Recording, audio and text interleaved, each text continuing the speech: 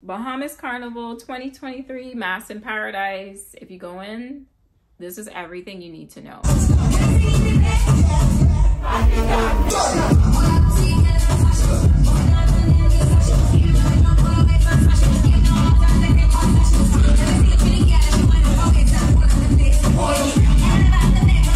And foremost, I feel like I always have to make the disclaimer because I've seen so many examples where people are mixing up carnival and Junkanoo. Junkanoo is basically a tradition that has extended from like slavery days in the Bahamas. It's traditionally like a parade that's held on New Year's Day, Boxing Day throughout the year, but it is definitely not carnival. Now, carnival itself in the Bahamas is less than 10 years old and it is definitely modeled after the Caribbean carnivals that are held in Trinidad. And it was brought about as a means to diversify the tourism product. It's still a good time. It is still a good reason to come to the Bahamas. Let's get into the deets about how to plan for Bahamas Carnival, how to participate, what to expect. So, when is Bahamas Carnival? It's actually on Saturday, May 20th, 2023, this year. Recommended dates of travel are, I want to say, give or take, come in on the Thursday, leave the Monday or the Tuesday. But you could also do Bahamas Carnival from like a Friday to Sunday. The road march is on the Saturday. It starts at around mid morning and ends after sunset. I recommend people fly into NAS or Lynden Pindling International Airport. What I love about flying in and out of Nassau Airport is the fact that Nassau actually has pre clearance for any US visitors. So you don't have to worry about the long immigration lines when you do come back to the US or if you're connected in the US. So that's something I absolutely love. Bahamas Carnival itself takes place in Nassau, New Providence, on the island of New Providence in the city of Nassau. New Providence is the capital of the Bahamas. It's a very small island among 700 islands and keys. The Bahamas is an archipelago, just FYI, it's not just one place. I have a whole blog guide on Bahamas Carnival that I'm going to link in the description box. So if you guys have any questions, just refer to that, or you can leave me a comment like this video, share it, or even send me an email if you need help with like itineraries. Or where can I stay for Bahamas Carnival? Now, there's a plethora of hotels, Airbnbs that you can pick and choose from because honestly, tourism is one of the biggest industries in the Bahamas. It's literally almost like it's bread and butter. I recommend hotels like uh, Baha Mar Resorts, Atlantis. You can stay at Compass Point Beach Resort. If you are renting an Airbnb, best areas I want to say are like around downtown Nassau West Bay Street, close to the route, close to fish fry. Um, you can even stay over Paradise Island, another island that's kind of connected to Nassau with by two bridges.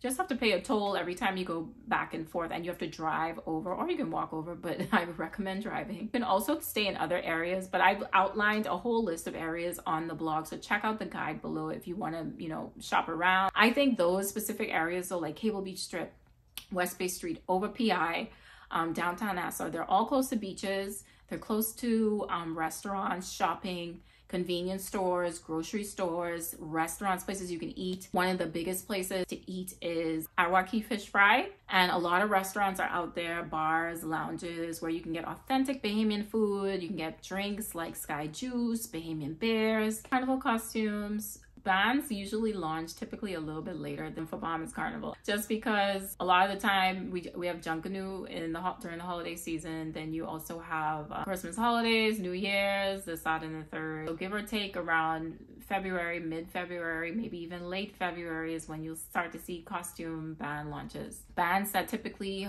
have costumes for Bahamas Carnival are Bahamas Masqueraders, Enigma, Ecstasy, we have new bands like Mass Chaos, also Hypnotic. You all these bands you can find on the list in my blog. Just check it out. You can go straight to their Instagram pages, see if they launch, if they have websites up, and check out the costumes. The going range for a costume is I want to say a backline starts at about 300, 350. Uh, also goes for males and then they go all the way up on what you want on your costume and what the band is offering. Now, for carnival events, Bahamas Carnival Experience actually puts on like events, a concert lineup for the entire weekend. You can check them out at www.carnivalbahamas.com. It has like your big major soca artists. They bought Machel. Like he did a soca mashup to Bahamian music, which was really nice. So Bahamian artists are there. Sometimes they mix it up, bring in a little bit of dancehall. Other events that happen are like La Vie, which is an all-inclusive. That typically happens like the Friday. J'ouvert typically happens on the Thursday. There are a couple of J'ouvert groups. So I've only played with Duddy Crew 242 can follow me on socials because I tend to post a lot of this stuff to my stories and whatnot. If you're looking for more information, or you can send me a DM or email me. Try to stay until Monday because the Sunday after the road or jumping in the line is mostly like a cruise day. So you have waves, which is like a cruise, happens on like a barge. And then you have Suits Bahamas, which is a really popular fete. A lot of people try to get on that boat. And then you also have like, you know, just you could either go to the beach, you could do whatever you want to cool down. The beach is always right there. Um, I'm pretty sure there's going to be more events this year, so just stay tuned. How to get around Nassau? There's several ways. Rent a car. It starts on average like $60 a day gas can be it can go be really pretty up there. Like the average i think is like five to seven dollars a gallon. It really just depends on what the economic climate looks like at that moment in time you can also rearrange rides through like Majestic Tours, um, concierge companies, like Goombay Concierge is a company and they have a transportation option allotted in their Bahamas Carnival packages. If you don't want to plan your Bahamas Carnival, you can actually go to them, Goombay Concierge, and they'll plan it for you. Another way to get around is public transportation. If you are close to the downtown area, now you really have to be vigilant because anywhere you go, you have to just make sure you're safe it is a viable option, but the only thing is that the buses all run from 7 a.m. to 7 p.m. It might be a different schedule on the weekend, but they all stop in downtown Nassau, but you also have to know the routes. All the routes are different depending on the jitney system. So like some routes you have like 21A, that goes a certain part of Nassau. Um, some of 7A, they go to a certain part of Nassau. If you're gonna do that, just make sure you know what route you're supposed to take, which bus you're supposed to take, because it could be confusing. What and where to eat. Now, if you don't know, the Bahamas is known for its specialty dish, conch, and literally you make it any type of way. Fried conch, cracked conch fritters, scorched conch, grilled conch, conch salad. Literally, you can even eat it raw if you want.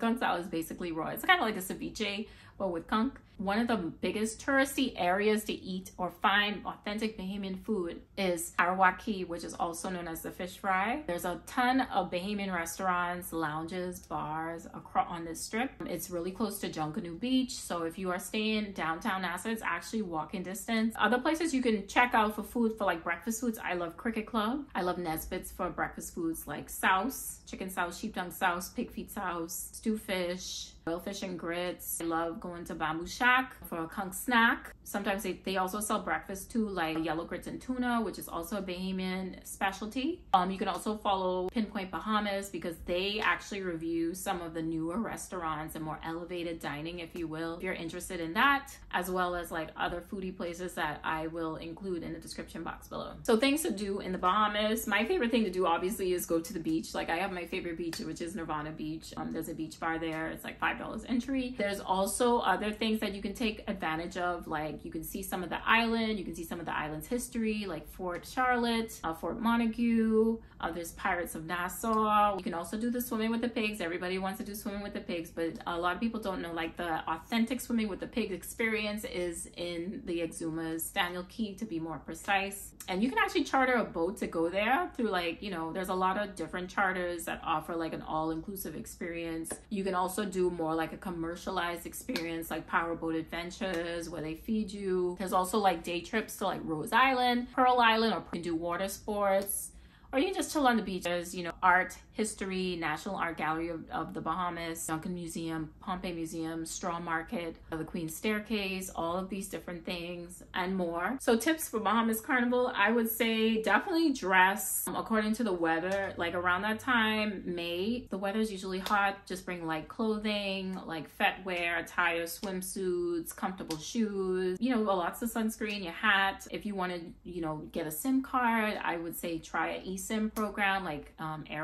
Even get a physical SIM card from Aliv or BTC. That could definitely work. Just know too that the route for Bahamas Carnival can be pretty lengthy. Last time I went, I was white and it was really hot. Last but not least, I think on average, you're looking at spending a minimum between like want to say 1800 to 2500 or a little bit more, depending on you and what your preferences are for carnival. And also it depends on where you're staying, who you're going with, if you're with a group. But that's it. Let me know if you guys have any questions about Bahamas Carnival that I didn't answer in this video. I would love to answer them in the comments or you can send me an email. If you have any questions about itineraries, let me know. And that's it. Don't forget to like, comment, and subscribe. Let me know if you guys are coming to Bahamas Carnival. All right, see you later. Bye.